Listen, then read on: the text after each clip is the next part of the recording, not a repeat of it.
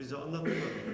Bir kahvaltı yaptık ve bir tek sözcük dahi e, Gülen e, sözcüğü dahi kullanılmadı. Kullanılsaydı ne olurdu? Hiçbir şey olmazdı. CHP lideri Kemal Kılıçdaroğlu cemaatle kahvaltı eleştirilerine böyle cevap verdi. Kılıçdaroğlu Washington ziyareti sırasında cemaate yakın Türk-Amerikan Derneği'nin temsilcileriyle kahvaltı etti. O buluşma partinin Cumhuriyetçi tabanında rahatsızlık yarattı. Kılıçdaroğlu Washington'daki basın toplantısında tartışmaları değerlendirdi. Davet onlardan geldi, biz de reddetmedik dedi. Bir siyasal partinin kendisini belli kurumlardan dışlamasını çok doğru bulmuyorum. Kılıçdaroğlu'na cemaatten oy beklentiniz var mı diye soruldu. Biz bütün yurttaşların bize oy vermesini isteriz.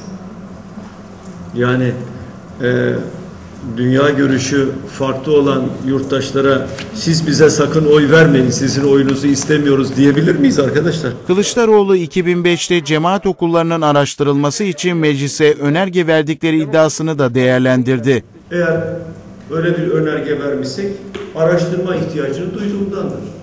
Bir şeyin araştırılması onun mutlaka olumsuz sonuçlanacağı anlamına gelmez. Pek çok konuda araştırma önergesi veriyoruz. O konuda da araştırma önergesi vermişsek